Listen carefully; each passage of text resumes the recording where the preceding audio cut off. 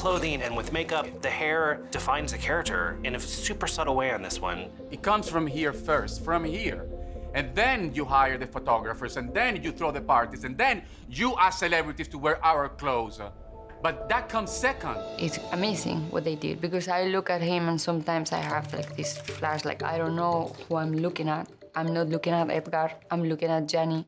Gianni Versace is definitely the looks that stand out the most because it's the most transformative as well as the most subtle.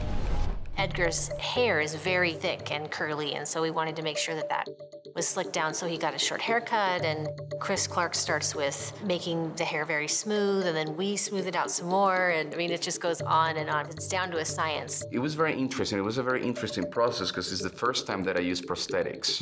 So it was kind of shocking. Hey, morning, Johnny. Hi. Edgar was very much part of the process. We decided to use three different wigs, one for 1997, one for the mid 90s, just sort of 94, 95, and then one in 1990. Signore Versace, buonasera. Darren Criss is a good example of a very subtle change.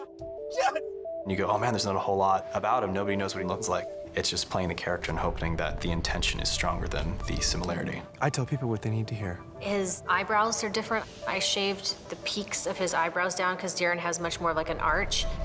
Eyebrows are such a big deal when you're talking about character work. That's one of the main things you always do is you change eyebrows. It steps you into that character because people notice eyebrows a lot more than they think they do.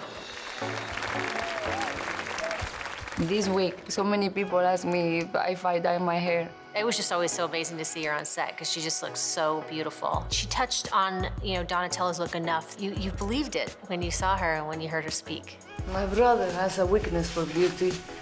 He forgives it anything.